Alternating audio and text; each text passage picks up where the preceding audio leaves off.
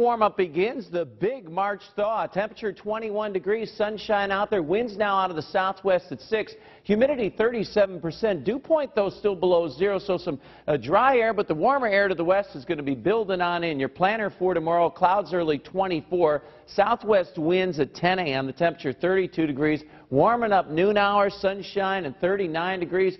Forecast highs tomorrow. Be warmest out to the west. We'll see some 50s along the Missouri River, 40s metro down south. Now, as you head off to the north and east, temperatures tomorrow in the 30s, so a little bit cooler. There is some more snowpack sliding off into eastern and northeastern Iowa.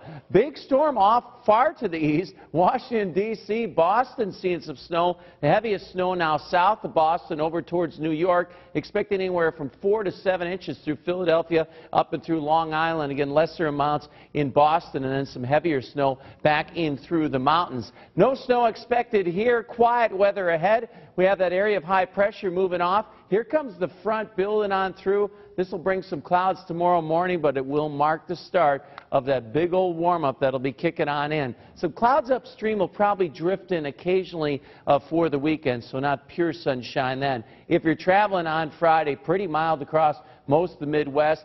50s, Rapid City, North Platte, Dodge City. Matter of fact, a few parts of Kansas could hit near 60 degrees. 50s in Kansas City, cooler in St. Louis, but dry weather if you're driving from Des Moines to St. Louis. A few snow showers in Green Bay and some 20s in Chicago and Indianapolis. So future futurecast tonight, generally clear skies early. Here's that little batch of clouds that moves in late tonight and early tomorrow. They'll move out, then we'll see mostly sunny skies Friday afternoon. Friday night, a few clouds drift in. Look for partly cloudy skies on Saturday early with some afternoon sunshine moving on in and some clouds down in southern Iowa. But overall, the warm-up continues through the weekend. When we start melting all this snow, too, we'll probably have a, occasional bouts of some locally dense fog now and again.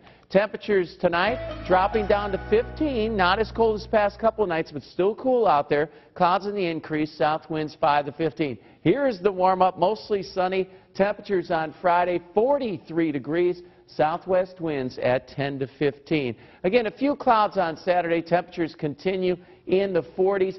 Sunday, 48 degrees. I think northern Iowa, north of Highway 20, you may get a few flurries. Also, we'll be springing forward. Sunrise 738, sunset 713. Days 11 hours, 34 minutes long, adding about 2 minutes and 47 seconds of daylight. And it just gets better.